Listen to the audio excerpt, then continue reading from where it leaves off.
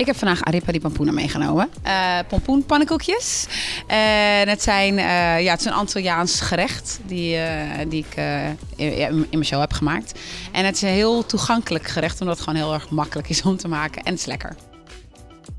Het recept is dat je, je gebruikt bakmeel, melk, eieren, um, rozijnen, kaneel, suiker een klein beetje. En ook doe ik er stiekem altijd een klein beetje vanille essence erbij. Voor de extra touch. Um, ja, en dan is het eigenlijk gewoon beslag maken en pompoen natuurlijk. Pompoen moet je eerst van tevoren een beetje koken. Uh, gaar laten maken en dan prakken. En dan lekker beslagje maken. En dan een beetje meer de Amerikaanse pancakes maken in plaats van de, de Hollandse pannenkoek. Kijk, die van mij zijn lekkerder, omdat ik ze heb gemaakt natuurlijk.